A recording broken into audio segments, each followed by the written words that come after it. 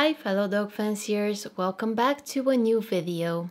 This one doesn't exactly follow the chronological order on the life and adventures of Eris the Whippet Pup and that's because uh, it actually covers events from last weekend.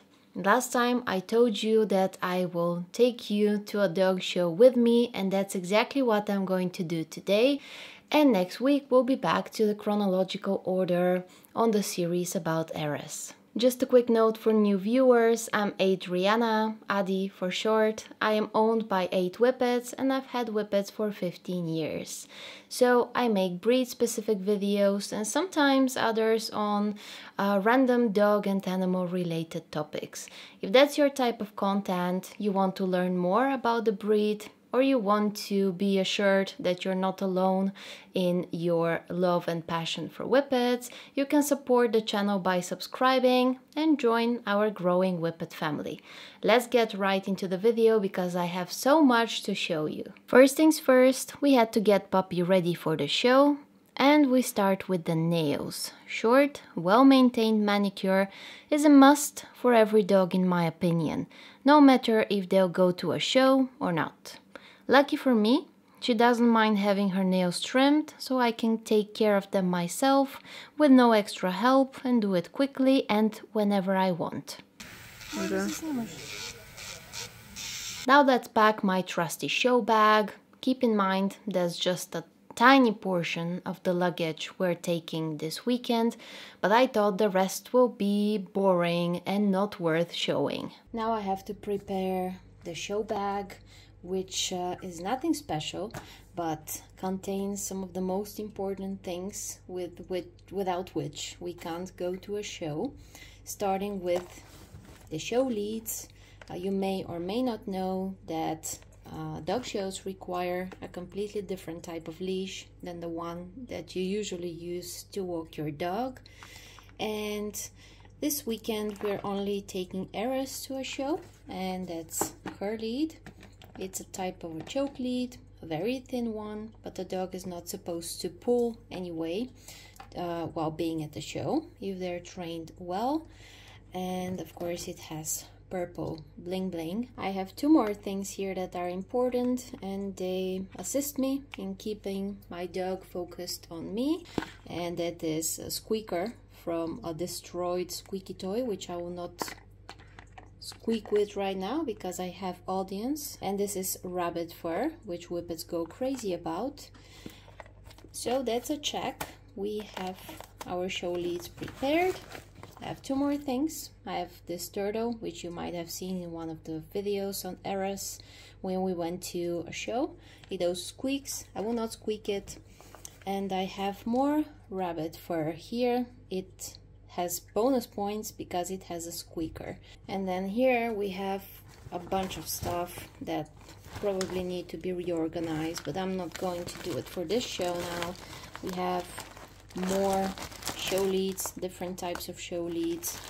Uh, it doesn't hurt to have a backup sometimes in case a, show lead breaks or if I have to borrow uh, a lead or help out a friend, uh, etc. This is Eris's document, so we have her passport and a, a copy of her pedigree.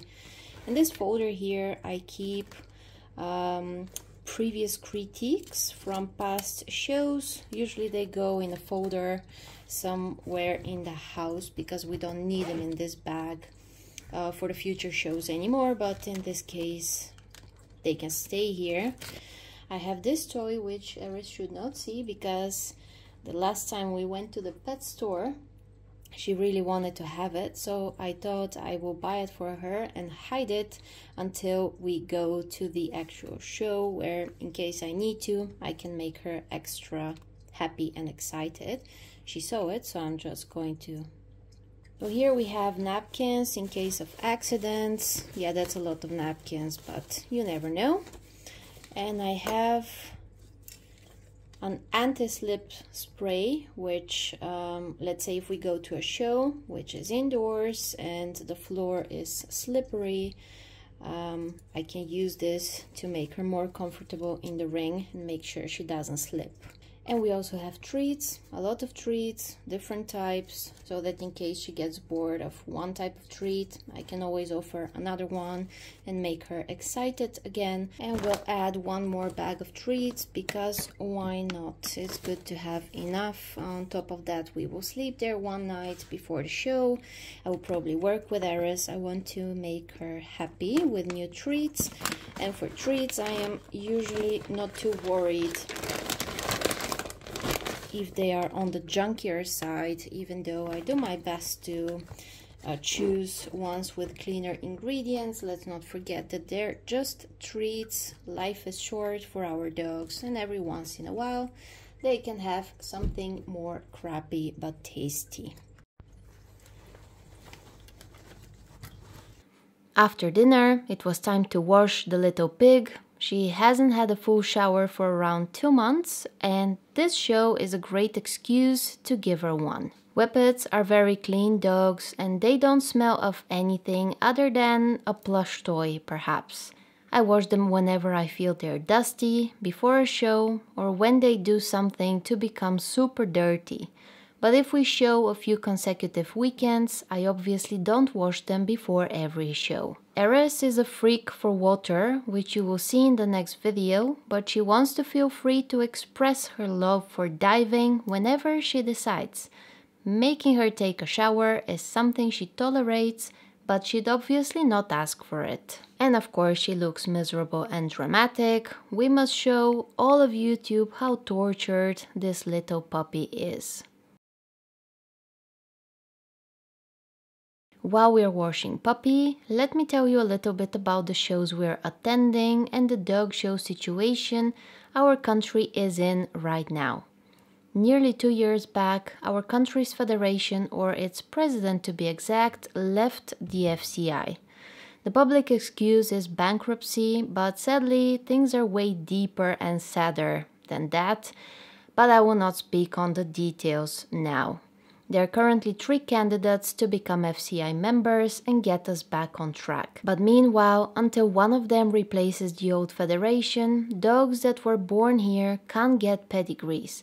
Hence why many ethical breeders, myself included, have paused their breeding program until there is a solution and it's all devastating to say the least. Still, the shows here are done under all FCI rules, with uh, often foreign FCI judges, but uh, they don't really make much sense for an adult dog because any titles obtained there don't really count.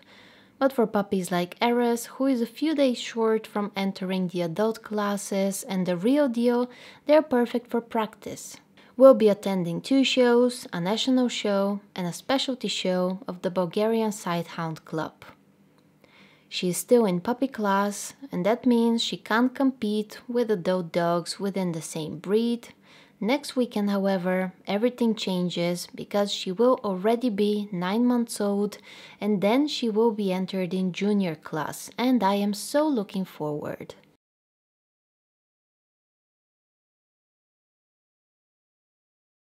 Puppy is now showered and it's time to dry her, first with one type of towel, then with another one, which is amazing with taking the last bits of moisture out. For anyone wondering, those are simply microfiber towels. For the rest, she can dry on her own as it's still relatively warm, so there is no risk of her getting too cold and off we go to my room so that she doesn't get too crazy and run outside to roll into something dirty which will ruin the purpose of my effort and back pain.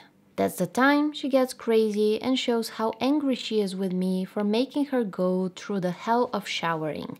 And if you haven't seen a dog snort like a horse, here you go. Just watch.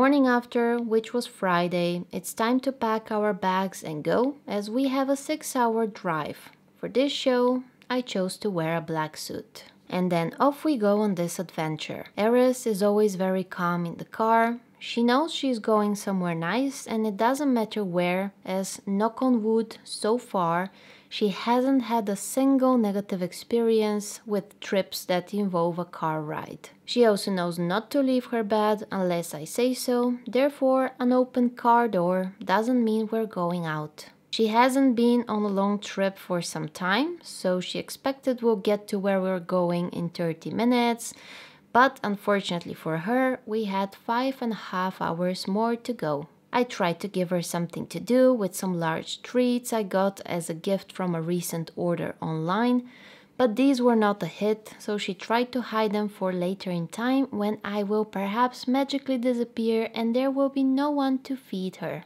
Then we played with the toy for a little while.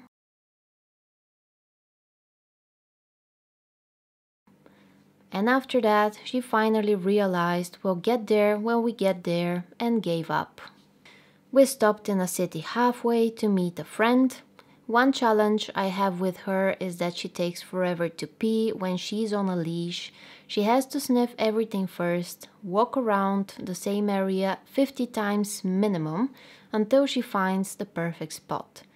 And no, despite all of my efforts, she didn't pee this time. There she also saw a cat, which she really wanted to meet, but cats are a no-no in my list of friends she can play with.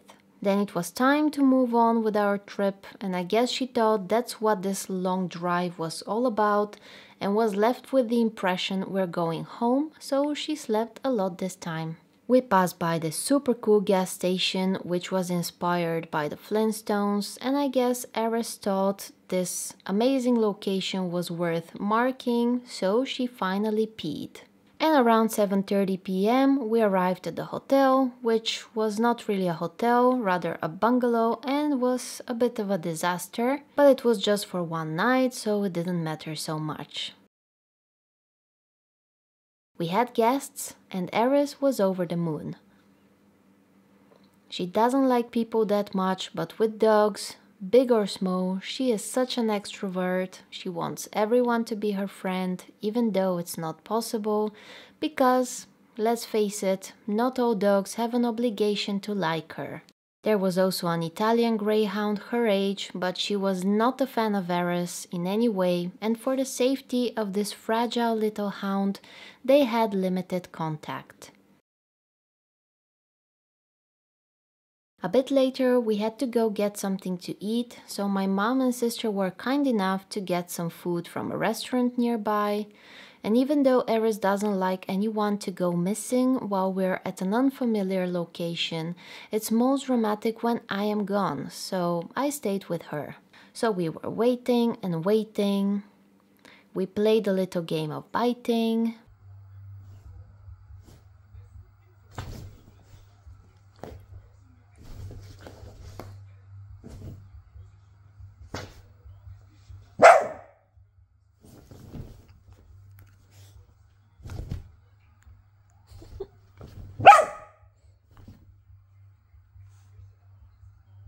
And I had the time to realize how many spiders were in this bungalow. But it was for one night only and it was right in front of the showground, so I got over it. Eris got bored of waiting at some point and then she fell asleep. But all of a sudden, the missing family members and the food arrived and she was happy again. She is a picky eater and wanted nothing to do with her kibble. To make sure she ate something different than treats this weekend, we had to order her a cooked steak to add to her regular food. Spoiled much? Early next morning, Puppy was up and ready for the next adventures, and we already started hearing more dogs arrive. But because we were so close to the showground, we had more time to sit back and relax. Since I like to be an early bird, we went there shortly after and Eris was excited. Did I mention she's a huge extrovert with dogs and wants to meet them all? That's why she needs some extra time at the show to settle and get used to the fact that we're not here to make everyone our friend. And as time went by, she settled as she always does and was happy enough to sit back and watch.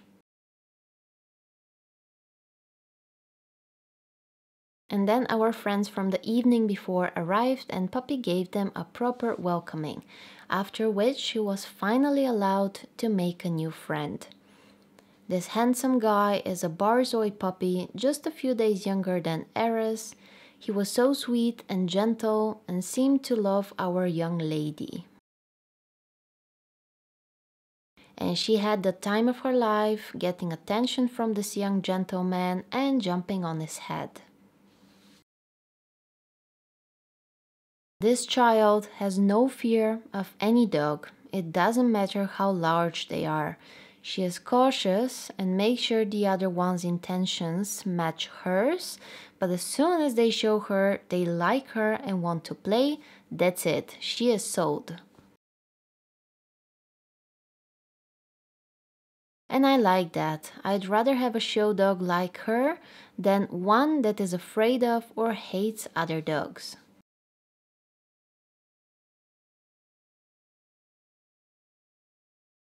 And then it was finally time to go in the ring.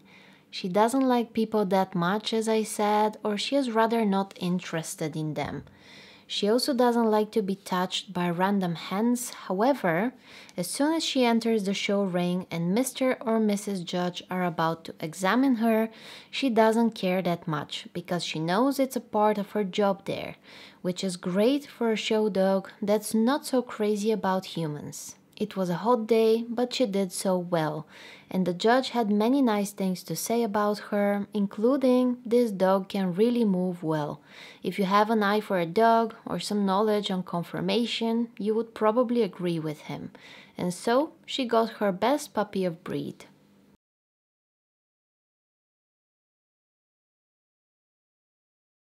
I rewarded her with her surprise toy, which I showed you earlier,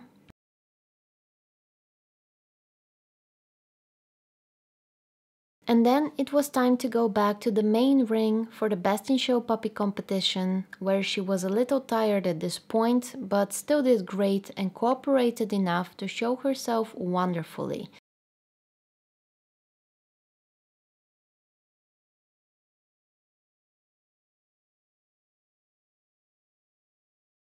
Here she ended up third, which I was very happy about.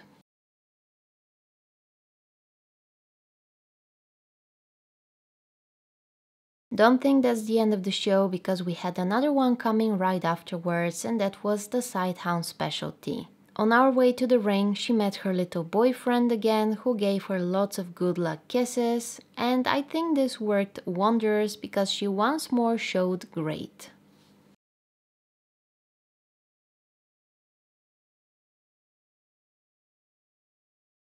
It even started raining, but this doesn't stop Eris from being her confident self. After winning Best of Breed Puppy, she finished the day with Best in Show Puppy, which I was so very proud of. That was her last show in puppy class and I was really hoping we'd finish it off with a nice Best in Show, so my wish came true. And after that, since shows should be mostly about having fun, that's exactly what we did and had a lot of fun with her rabbit fluff. And then it was time to go home. She fell asleep the moment her butt touched the seat and slept almost throughout the whole trip, where we were caught by a crazy storm, but regardless, we arrived home safe and sound at 10 pm. This puppy brings me so much joy, and the fact that she enjoys shows so much is a great win in itself. As I've said before, my main goal is to teach her that we can have fun there and I believe that this time we managed to achieve this once more. And next weekend or tomorrow, by the time you're watching this video, it will be her very first show in junior class and also her first one indoors and I think this will be fun. And I will make sure to document everything. I think it's time to conclude this video here because my voice starts to disappear from so much talking. So I wish you a lovely weekend and a fantastic week afterwards and I will see you next Friday with a new video. Bye bye!